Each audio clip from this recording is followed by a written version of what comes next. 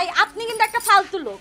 আপনি কিন্তু উল্টাপাল্টা অনেক কথা বলেন। এই, আপনি যান। আপনার কোনো কথা আমি শুনব না। না, আমাকে প্রশ্ন করা হয় যে কোন অঞ্চলের ছেলেদেরকে আমি বিয়ে করব না? আমাকে যখন প্রশ্ন করা হয়, অবশ্যই আমি ভেবেচিন্তে বলেছিলাম বরিশাল, কারণ আমার মেজো বোনের বিয়ে হয়েছিল বরিশাল।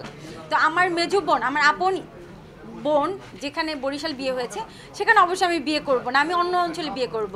চৌষট্টিটা জেলা আছে তার মধ্যে অবশ্যই কেন আমি বরিশালটা বেছে নিব? যেখানে আমার বোন আছে তারও চৌষট্টিটা জেলায় বাষট্টিটা জেলা আমি চিন্তা করব।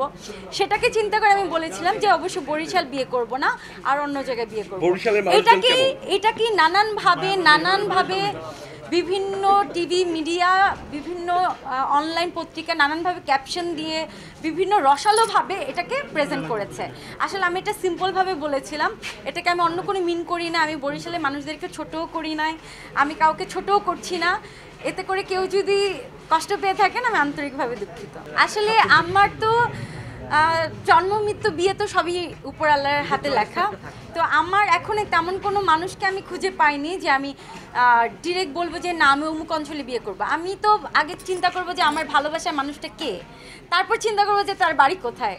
সো আগে মনের মানুষটা পেয়ে নেই তারপর আসলে দুইশো প্রেমের অফার অবশ্যই পাই কারণ দুইশো কেন? দুই হাজার যদি প্রেমের অফার পাই তাও আমার কিছু যায় আসে না। আপনারা জানেন যেহেতু আমি একজন অভিনেত্রী অনেকে আমাকে পছন্দ করে অনেকে প্রেমের প্রস্তাব দেয় অনেকে বিয়ের প্রস্তাব দেয়। আর সব থেকে এই যে আমাকে কিন্তু এই যে আজ ওইটা দিচ্ছে আই আপনি কিন্তু একটা ফালতু লোক। আপনি কিন্তু উল্টাপাল্টা অনেক কথা বলেন। এই আপনি যান। আপনার কোনো কথা আমি শুনব না।